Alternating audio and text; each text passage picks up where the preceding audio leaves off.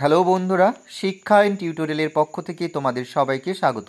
আজকে আমি আলোচনা করব উচ্চ মাধ্যমিক দু হাজার একুশ বাইশ শিক্ষাবর্ষে ইতিহাস বিষয়ের লাস্ট মিনিট সাজেশন নিয়ে। এই ভিডিওতে আমি আট নম্বরে টোটাল দশটি প্রশ্ন বেছেছি। দশটা প্রশ্নের মধ্যে আশা করি সেগুলো সব কমন পাবে।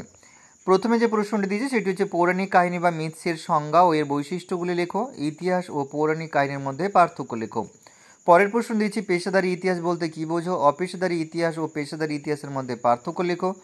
পরের প্রশ্ন, জাদুঘরের সংজ্ঞা দাও, জাদুঘরের কার্যাবলী আলোচনা করো।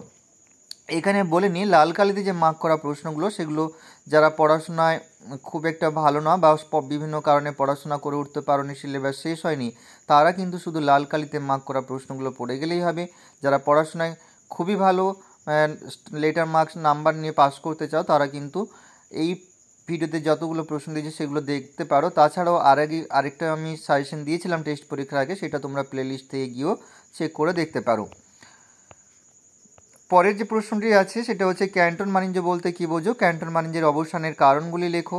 বা আলোচনা করো। পরের প্রশ্ন আছে, ঔপনিবেশিক শাসনকালে ভারতীয় অবশিল্পায়নের কারণ ও ফলাফল আলোচনা করো। তার পরের প্রশ্ন আছে, ব্রিটিশ ইস্ট ইন্ডিয়া কোম্পানির আমলে ভারতীয় ভূমি রাজস্ব ব্যবস্থার পরিচয় দাও। এখানে বলে রাখি, যারা আমার এই ভিডিওটি দেখছ, যদি তোমাদের ভিডিওটি ভালো লাগে, তাহলে একটা লাইক করে বন্ধুদের মধ্যে শেয়ার করতে থাকো।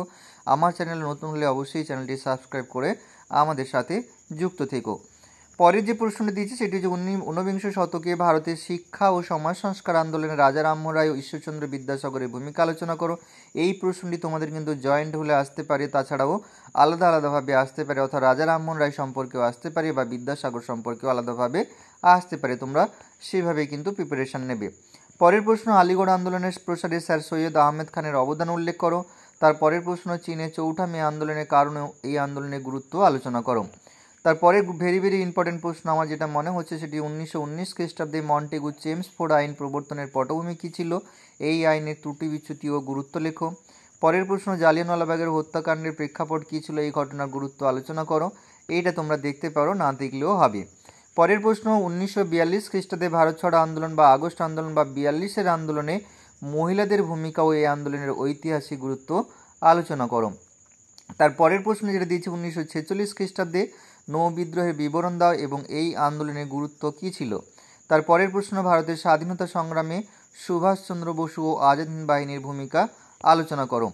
এইখানেই আমি টোটাল দশটা প্রশ্ন বলে দিলাম। তোমরা সবকটা প্রশ্ন ভালো করে দেখে যাবে। তোমাদের পরীক্ষার বেশি দিন সময় নেই। পরীক্ষার আগাম শুভেচ্ছা রইল। সবাই ভালো থেকো, সুস্থ থেকো। পরের ভিডিওতে আবার দেখা হবে।